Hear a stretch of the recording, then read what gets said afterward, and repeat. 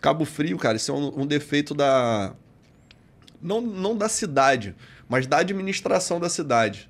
Igual hoje. Hoje a cidade de Cabo Frio não gera emprego, não fomenta o turismo, entendeu?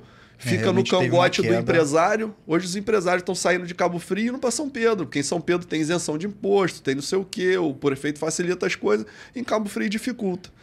Para Cabo Frio, na época aí de Antes hum, a estrutura de Cabo Frio realmente com, entendeu? com hoteleira é melhor. É, é agora muito maior, né? É maior, é maior também, mas hoje é, é, Cabo Frio na, até 2010, 2012, Cabo Frio era a referência da região dos lagos. É. Hoje é o patinho feio. O pessoal está saindo de Cabo Frio para vir para São Pedro, para ir para Iguá, para Araruama, Saquarema, que está crescendo é, muito Saquarema. Tá... E Cabo Frio está ficando para trás, pô. Uma administração pior que a outra, todo mundo empurrando com a barriga, a coisa não não vai. Não, anda, anda, né? não anda, não se projeta.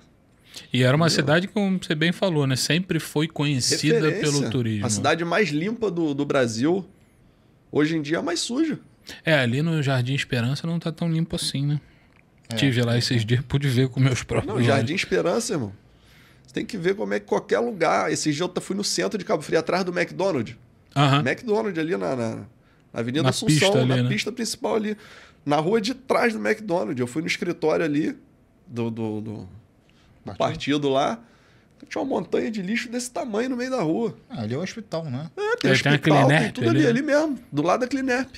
Caraca. Uma montanha de lixo ali de um metro e meio, no, no mínimo, de altura. Eu falei, gente, como é que eu reclamo do Guarani? Como é que eu reclamo do Jardim é, se o centrão tá assim, se né? o centro tá assim, irmão. Eu, eu, eu, eu costumo falar isso. Eu falo assim, ó.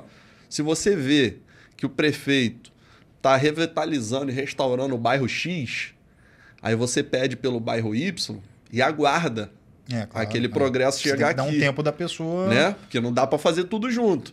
Mas quando você olha e você vê que não tem progresso em lugar nenhum. Tem alguma coisa errada. Não dá para você esperar nada de, de, desse governo.